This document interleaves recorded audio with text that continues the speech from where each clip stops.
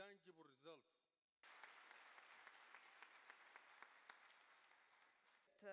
Of the United Nations Environment Programme.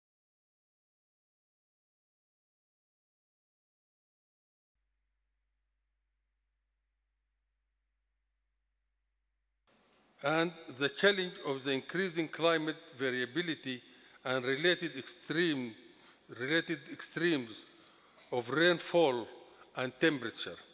This phenomena is particularly threatening to arid and semi-arid lands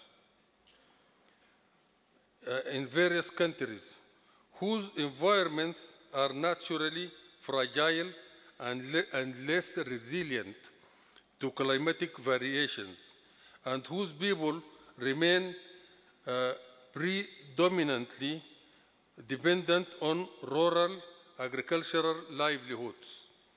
We recognize that for this to be realized, there's need for increased financial support from the UN regular budget to a matter that is, this is a matter that is on the agenda of this session.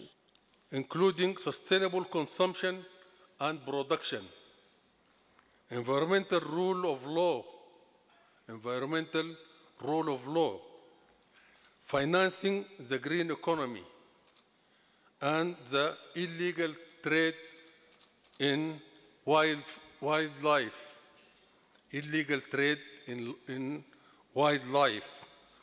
This assembly and its partners will, uh, are well placed to provide governments and other uh, policy makers with the, with, the, with, with the science tools and innovations required to consolidate environmental stewardship and support sustainable development.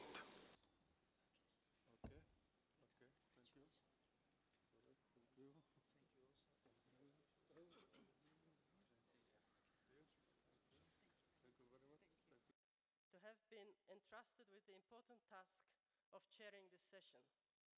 As the President, I stand ready to dedicate my efforts to ensuring that we have an effective and productive session.